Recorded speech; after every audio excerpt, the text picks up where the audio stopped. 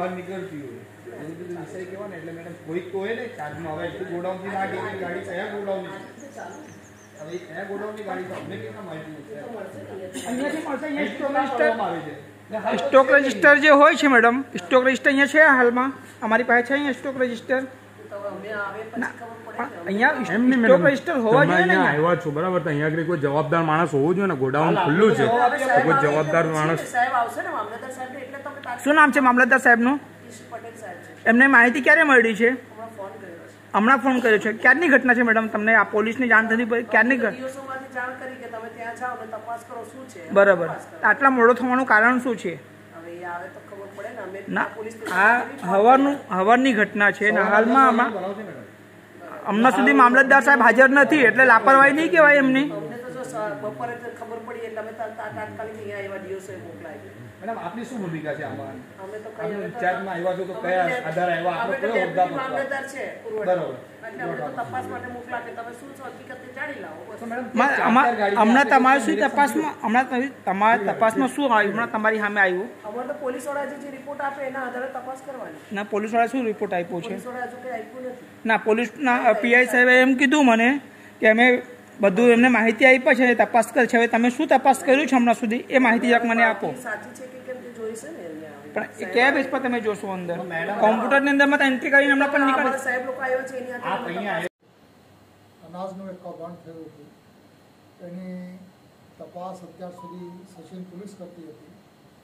પરંતુ કેમ કે આમાં આટાઘૂટી છે અને એના વ્યાપ વધારે હોવાની શક્યતા છે એટલા માટે ક્રાઇમ બ્રાન્ચમાં એક સ્પેશિયલ ઇન્વેસ્ટિગેશન ટીમ બનાવીને આ તપાસ એને સોંપી દેવામાં આવી છે રાજ્ય સરકાર આ બાબતે ખૂબ જ ગંભીર છે અને મને સંપૂર્ણ વિશ્વાસ છે કે એસઆઈટી આમાં સત્ય શું છે એની ઊંડી ચકાસણી કરશે અને नमस्कार आप देख रहे हैं पब्लिक लाइव न्यूज और आपके साथ हूं राजेश विश्वकर्मा एक बड़ी खबर की शुरुआत करते हुए आपको बता दें कि सूरत शहर में दिन प्रतिदिन जो है सरकारी अनाज की कालाबाजारी लगातार बढ़ती जा रही है। जी हाँ आपको बता दें, सूरत शहर के सचिन जीआईडीसी इलाके में आई सरकारी गोडाउन से करीबन दो ट्रक से ज़्यादा का जो है सरकारी अनाज जो है, वो बाहर भेजने के फिराक में थे। तभी जो है कहीं ना कहीं गुप्त सूचना के आधार पर जो है सरकारी अनाज, जो ट्रक से पूरा भरा हुआ था, उसको पकड़ा गया था। पकड़ने के बाद जो है सूरत मामला कलेक्टर के आदेश के बाद जो है मामलादार जो है वहाँ पर पहुँचे थे। डीएसओ यानी कि डिस्ट्रिक्ट सप्लाई ऑपरेशन ऑफिसर वहाँ पर पहुँचे थे, जहाँ पर कार्रवाई की गई थी। करीब, करीबन करोड़ों रुपए का जो ये काला कारोबार जो है कहीं ना कहीं बाहर बाहर करने की फिराक में थे।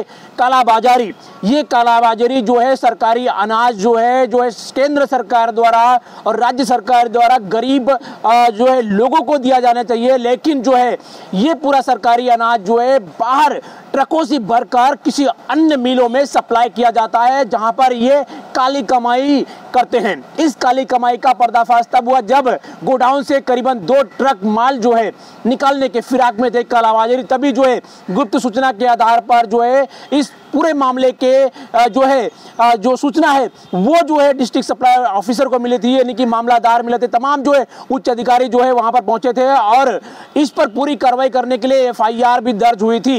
एफआईआर दर्ज करवाने के बाद जो है सचिन जीआईडीसी पुलिस स्टेशन में ये दर्ज हुई थी। उसके बाद जो है, कहीं ना कहीं एक एक आरोपियों को जो है वहाँ पर बुलाया गया था। लेकिन जो है जो जड़ तक जो है जाने की, जो पुलिस कहीं ना कहीं फिराक में थी, वो शायद सरकार को ये तरफ़ से नहीं संदेश मिला। लेकिन जब इस बात की पुष्टि हुई कि इसमें सही तौर पर जो है जाँच नहीं पाई जा रही है, तब गुजरात सरकार को जो है कहीं ना कहीं कई शिकायतें मिली थी, जिसके आधार पर जो है गुजरात सरकार ने सूरत पुलिस कमिश्नर को ये पूरा मामला जो है क्राइम ब्रांच को सौंपा गया है।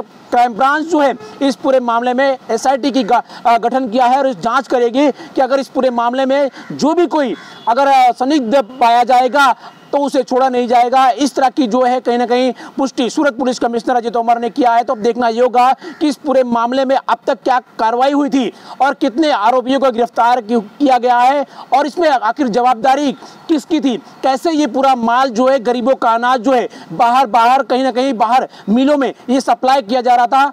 ये पूरी जो है तहकीकात होना बाकी है। अब क्राइम ब्रांच कितनी तक जो है कार्रवाई करेगी, ये देखने वाली बात होगी। सूरत से कैमरामैन सुमित राजपूत